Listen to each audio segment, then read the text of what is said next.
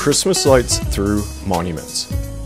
Here's how to do it. Craft up a shit ton of deluxe Christmas lights and start placing the first strand. Work on something known as a gigastack. Don't worry about what's going on in the domicile, okay? Alright, alright. When you're about to start running out of Christmas lights, drag a fresh stack onto your equipped stack and keep going and keep going and keep going. Once you're out of Christmas lights, pick up that controller for one massive strand. Done with the Giga Stack, I'm gonna pick it up here. Oh, 1400 feet, y'all. That should be enough to get through Outpost and back. Replace the controller and find the nearest build spot opposite the monument. When it goes green, you're good to go. Alright, I'm guessing Yeah, I but fucked it's so something up. away. Whoa! Oh shit, it worked! It worked, it worked, it worked. Hold on, we gotta go back and investigate. All the way through.